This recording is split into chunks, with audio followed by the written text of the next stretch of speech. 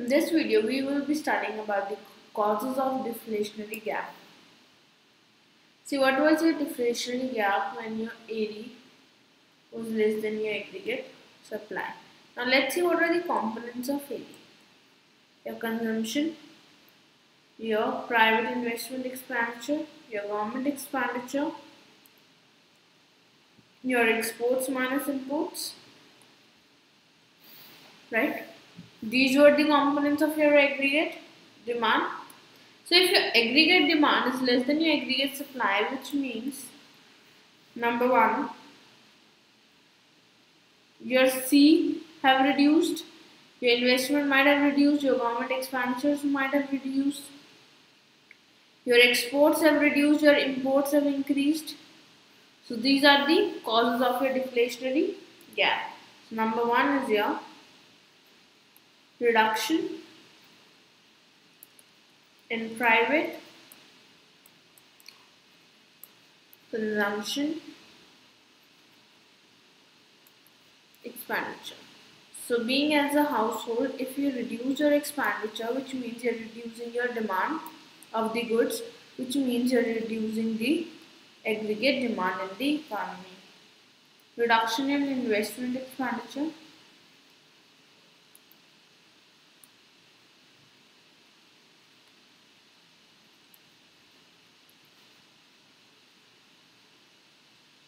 this is your change in C and this is your change in investment. So investment expenditure is the other important component of aggregate demand and a reduction in the investment implies a reduction in the aggregate demand. So in this way aggregate demand reduces. The third we have is here re reduction in government expenditure?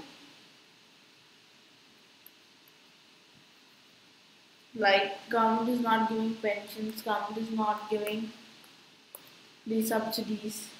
So the government is reducing its expenditure. So in this way if the government is reducing its expenditure it is reducing the social welfare it is reducing the aggregate demand in the economy the fourth we have is decline in the exports.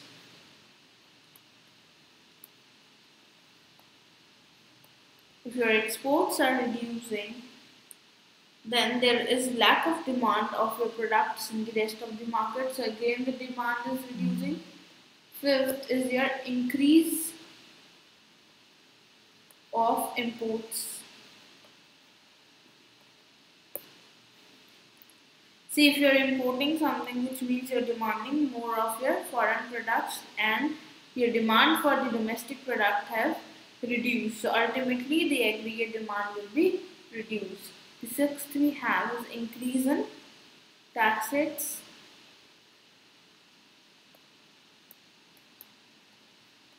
See if the taxes are increased which means major uh, more you have to give from your income in the tax. So if you do not have money, how will you demand? Because major part you are giving as a tax. So in this way, these are the various factors that causes the deflationary gap in the economy due to which the aggregate supply uh, demand reduces the aggregate supply. I hope you have completely understood this. Please download our Scholars Learning app and enjoy the learning experience with us.